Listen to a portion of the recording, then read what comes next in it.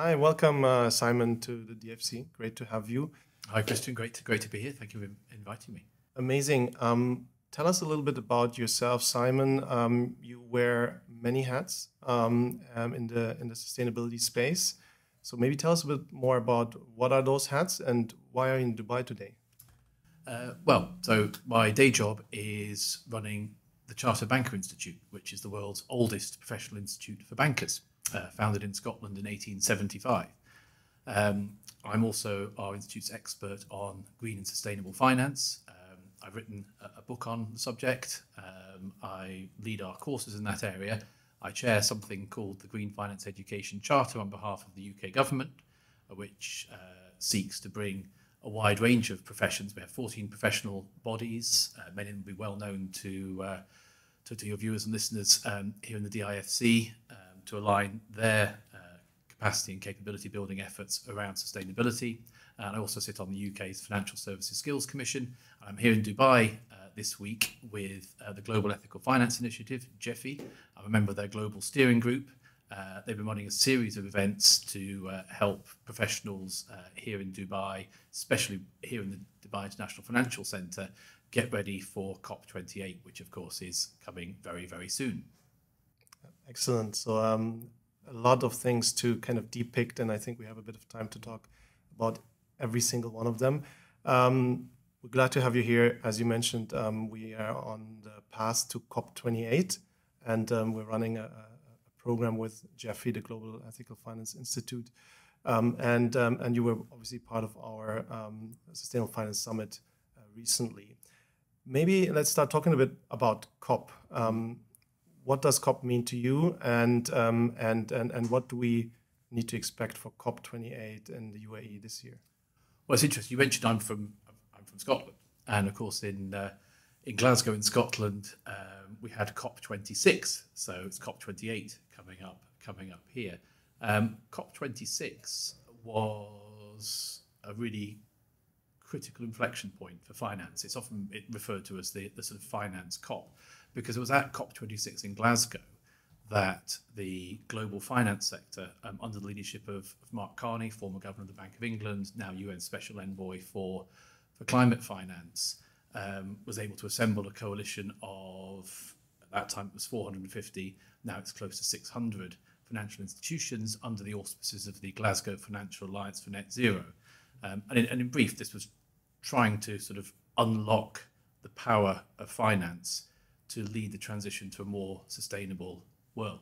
So I think a lot of people have heard of the Paris Agreement. That's the, the, the, the global uh, agreement on climate change, um, to which 197 countries parties to the agreement. So COP is the conference of the parties. That's yeah. why it's called COP28. So they, they, they, they, come together every year to, to, to, to, look at progress and to assess progress and how countries are, are doing on this. Now, the Paris Agreement has three objectives. Most people have heard of the first two. The first one is to limit global warming to below two degrees um, and as close to one and a half degrees as, as possible. So we have to reduce greenhouse gas emissions to do that. The second objective people have often heard of too, and that's to promote climate resilient development.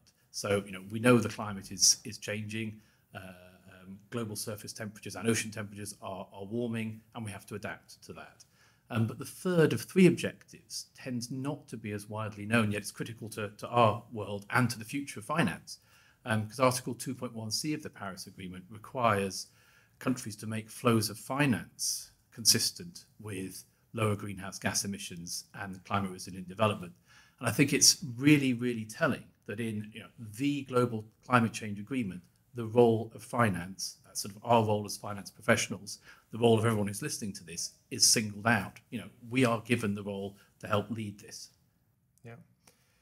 Great. I mean, um, thanks for, for clarifying that for our um, viewers and listeners. Um, again, lots of different topics we, we, we can now depict and, and, and um, break down into the different pieces of it. There's the Sustainable Development Agenda 2030, um, and I think the Paris Agreement, both of them were kind of um done in 2015. Um, so 2030 is kind of the you know the, the, the next milestone or the big milestone, and now we're halfway there. Um, where do we stand in terms of um, um, from where you described COP26, um, where there was a big focus on the financial side? Um, what do we have to expect um, at this COP28, where it's kind of a you know a halfway mark, trying to look at where we stand and where we need to get to, and specifically on sustainable finance, what are the gaps or the opportunities that we need to look at? Well, I think the reality is we're not making the progress we need to make um, to keep 1.5 alive in the jargon that's been used at COP26 and in Sharm el Sheikh at COP27. And actually, the, um, the, the most recent sort of assessment of the climate science um, conducted by the um, the IPCC, known as AR AR6, which came out in 2021 and 2022, you know that makes very very clear that we have to take very rapid, sustained, and dramatic action if we are going to try and hold global temperatures below two degrees uh, Celsius of warming by, by, by mid century. So, you know, what we need to see at COP28 is both political leadership, um, but we also need to see um, the finance sector redouble its commitments and move those commitments to action. Because at, at Glasgow, we, we, we saw lots of targets, very impressive targets, and some institutions have made sort of great progress towards those. You know, but the reality is that sustainable finance, green and sustainable finance, climate finance, it's called lots of different things. It's still a, it's still a niche. It's still not in the mainstream of finance. And actually, uh, for a Paris-aligned world, for a world that we do save from from global warming and you know climate catastrophe, the future of finance has to be sustainable. All finance has to be sustainable. In Mark Carney's words, every professional financial decision has to take account of climate change and I think many would argue, including myself, now that needs to include broader environmental sustainability factors and social sustainability factors and a just transition uh, to net zero um, as, as well. Um, so maybe just uh, jumping in, in, in, that point, I think this is obviously a very important point. As DIFC, we're, we're driving the future of finance. Um, so how do you envision this future of finance to look at? So in, let's say we, we, we um, zoom ourselves yeah. to, um, to 2030, how do you want the, the finance industry to, to, to operate or to change? Like where, uh, what needs to change? Well, I think when we, we think about the future of finance, we need to think about you know the purpose, the why of finance, and then how we deliver it. So for me, that purpose has to be aligned with sustainability. You know, ideally with the um, with the objectives of the Paris Agreement and the UN Sustainable Development Goals more more broadly, which you alluded to earlier. So that's the why why we should be doing finance, creating shared sustainable prosperity for current and future generations. And that future proofs finance and actually business, society, and our planet. Um, but you can also think of then how do we deliver that purposeful finance? And that surely uh, links to the, the other global mega trend that's reshaping our world, and that's, that's digital and technology. So for me, the future of finance is sustainable and it's digital. Excellent. We wanted to talk a bit about um, what are the different areas that the finance industry needs to focus on to, you know, accelerate sustainable finance and get on track to the commitments and the goals that we, um, as a global community, have towards um, 2030. What are those areas? Um, what needs to be done? Have you seen any good examples that um, we can learn from? Well, I've got some kind of good news and bad news to share. The good news is it's quite simple because we need to focus on everything, and that's that's all. That's all. That's also the bad news. Because when we're talking about aligning finance and sustainability with the objectives of the Paris Agreement or the UN Sustainable Development Goals, um, but particularly Paris, we're, we're talking here about the uh, whole economy transition. You know, the the decarbonisation of almost every economic entity, almost every economic activity. Um, now, you know, those transition pathways, some will take longer, some will take less time, but we are trying to move the whole economy from a high to a low carbon model in perhaps 20 to 30 years, um, as opposed to the 200 years of the, the first industrial revolution. So, you know, banks have to be understanding their current exposures um, to high carbon sectors, firms, and activities. They have to be engaging with their clients and customers, help them develop transition plans, make sure those transition plans are, are credible. Um, and, and this, this, this is something that's, you know, frankly new to the great majority of, uh, of finance professionals, um, because despite all of the um, uh, the great progress in, in sustainable finance, only some four percent of, of lending globally, even on the broadest definition, is thought of as green. You know, we talk about um, the great growth in the, the green and sustainable bond markets, which has you know now reached more than sort of 1.5 trillion of total issuance, but that's still very small compared to what the 120 trillion or so of, of total bond issuance. So green and sustainable finance is growing quickly, but it's growing from a very, very small niche. And what we have to do is make sure that banks and bankers and finance professionals more broadly do what Mark Carney has told us to do, and that's to make sure every professional financial decision takes account of climate change. Um, so that's all of our lending and investment decisions. It's our credit, it's our risk analysis, it's the advice we give to our clients and customers, it's every financial product and service we design and deliver. Everything we do needs to be informed with a, a lens of climate, mm. and I'd add environmental and um, social sustainability too. And what that then leads to is the need to uh, very rapidly build the capabilities, the, um, the, capacity, and the cultures of financial institutions so that we are genu- genuinely aligned with sustainability, which is what networks such as the Principles for Responsible Banking, the Principles for Responsible Investment, and so on, who I know are very active here uh, in the region, um, are, are keen to do. But it's a it, it's it's a long journey, and perhaps it's a, it's a journey that, that always continues. But you know, mm. it's the future of finance. It's it's where we have to get to. to um, 100% uh, agree with you. So I think you mentioned a few areas. So one is culture, one is um, capability building, capacity building, um, and I think on the other side it's also like the um, how do we make it scalable? Um, so we're we're still at a small scale. We need to make it um, you know very big very quickly. Um, maybe we can talk about each of them uh, briefly. Um, in terms of culture, have you seen um, change um, in the boardroom, in the in the leadership of, of financial institutions five years ago to, to today, and, and, and what is the change in culture? Uh, well, well, well, definitely, and I think there's some very good examples from the from, from the UK. Um, I only use the UK as an example for two reasons. Firstly, that's where I'm based, but also because of COP26 in, in, in, in Glasgow. Um, and of course, that meant that UK financial institutions had a particular, I guess, both a moral incentive, but there was also kind of pressure put on them from the government and regulators and so on to be shown to be taking the lead. There are also institutions right around the world as well that are, are genuine climate leaders too. But I mean, you know, one of the UK banks, which um, you know, in the previous incarnation was often referred to as an oil and gas bank. Mm-hmm. So, you know, very resonant for, for, for banks in this region. Um, you know, starting with their board and the CEO, um, climate has been made one of the three pillars of their corporate strategy, and they are absolutely determined to deliver on that, and they are delivering um, on it. In fact, um, just uh, just recently, sort of Bloomberg assessed them as one of the climate leading banks in the world and that's quite a transformation over what a 15 15 20 year or so so process i mean it, it is still a long process but that culture aligned with climate and sustainability is driven right throughout the bank from the top but there's buy-in at, at all levels and i know that's meant some very difficult conversations with with clients yeah. it, it also doesn't mean instantly divesting from high carbon sectors and firms actually we're trying to transition the world yeah. here um, and so, so banks and insurers and investors have a really important role to play in helping high carbon sectors and firms transition to more sustainable models. Um, and that's what will really drive the transition just as much, if not more so, than you know the new technologies or finding the next Tesla or something like that.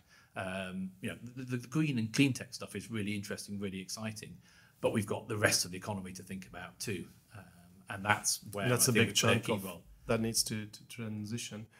Um, I really like this example because you're you're talking about a financial institution that has been really on, on you know on one spectrum on one end of the spectrum and is, is and has managed to move you know towards the other side and and so it's an example of transition as possible but it needs to be really you know culturally from the top be driven top uh, down um, in terms of now like we have examples like this, and there's a few in probably in, in, in every country. There's a there's a handful maybe, um, and in some regions maybe more than in others. How do we make it scalable? So I think the the the most impactful thing is to build the capacity and capabilities of of finance professionals, um, because th- this needs to become part of our daily professional practice. Again, go back to Mark Carney's phrase of you know, every professional financial decision taking account of, of climate change, well, that implies that every finance professional needs to have at least a basic knowledge sort of relevant to their role and be applying this when they're yeah. designing a new product and service, when they're giving advice to the client and customer, when they're um, you know, sitting on a credit committee, what, whatever it might whatever it might be. Um, that doesn't mean we all need to be, um, you know, climate risk modelers and deep sustainability specialists. You know, far from it. We need the skills of banking and finance to transition the world. You know, just as much, if not more so, than we need the skills and knowledge of sustainability professionals. But we've got to apply the, that that banking and financial knowledge through a lens of sustainability, so that in everything we do when we go to work, um, just as we're we're thinking about risk, we're thinking about credit, you know, we're thinking about the, the financial disciplines we've, we've learned as professionals. We're also thinking about climate change and sustainability. Mm. And, and, although, and again, that's how we change the culture of institutions and align the whole of finance with sustainability so that the future of finance is a sustainable one. Understand. I, I think that's probably, um, this is also a priority for us at DIFC um, with our DIFC Academy, really capability building. Um, you wrote a book, um, and I think it's it's a book, um, probably one of the first books in that context to, to, to, support building these these capabilities or this capacity building. Um, it's about uh, green and sustainable finance. Tell us maybe a bit more of like why did you write the book, and what are the two three things that that you really want everybody to take away um, when reading um, the book or learning about green and sustainable finance? well, I, I, wrote the book because nobody else had. It's as simple, it's as simple as that. We we needed uh, um, some materials to support one of our first courses, um, and uh, again, this was, this, this was to try and um, upskill um, bankers and financial professionals. Mm. So again, you know, there's many universities do a wonderful job um, teaching climate change and sustainability and all of the the, the, the sort of engineering disciplines and things things around that, and that's absolutely needed. But what, what, what finance professionals need is an introduction to the topic written in language they can understand, contextualized um, within finance. So, what does this mean to me if I'm sitting in front of a client and customer tomorrow? How can I have the the competence and the confidence I need to have those conversations about transition with with my clients and customers, or in, in whatever mm. role I have in, in my institution. Um, and it just wasn't there. So um, I decided I'd better sort of write it myself for somebody like me who wanted to learn about this stuff. And it seemed to have resonated with people. And actually, it's now in its its second edition, um, and we have thousands of, of, of, students around the world going through our qualifications and, and, programs and things in this area, which is which is lovely to see because I feel like I'm making a, a, a difference in helping to sort of reshape yeah. the world world through finance. Um, in terms of kind of maybe two or three kind of key takeaways from the from the book, um, I mean the first which I've alluded to already, um, is that um, you know you don't need to become a deep sustainability specialist. You need to apply your banking financial skills um, with a sustainability lens, and that's okay. just as important as, as as knowing about sustainability. But learning the basics of this will will help you engage with experts when you need to, whether that's in your sort of central sustainability team in your institution, or whether it's engaging with perhaps clients and customers who are more expert in these areas than you are because again, you need, as a finance professional, you need the competence and the confidence to be able to do this, and that's often often been been lacking.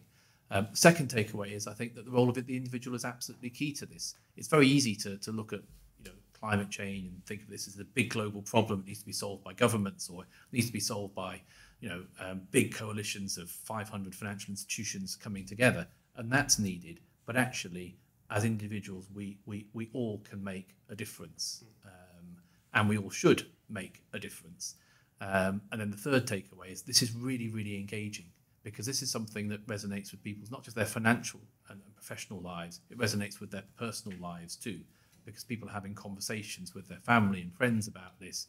People are, are seeing the documentaries on television. People are experiencing the impacts of, of global warming and other sustainability challenges themselves in different ways in different parts of the world. So, and as a, as a, as a banker and a finance professional, this this allows us genuinely, and I, I don't say this flippantly. This allows us to say, it allows me to say, I'm helping to save the world. You know, that's what I do when I go to work, and it may only be a little bit, but I'm helping to save the world. And not many people can actually say that when they go to work. Yeah, um, that's true. Yeah, a lot of. Um, I I think you you put it to the um, you brought it to the point. It's it's it enables every single individuals around the world in every industry to actually take the future of the planet into their own hands. Uh, and sometimes I guess people think that you know their contribution is small, um, but as you said, I think it's really important that um, at the end of the day, all decisions are made by individuals, right? And and every individual has their circle of influence. Um, so I think multiplying that is, is, is, a requirement.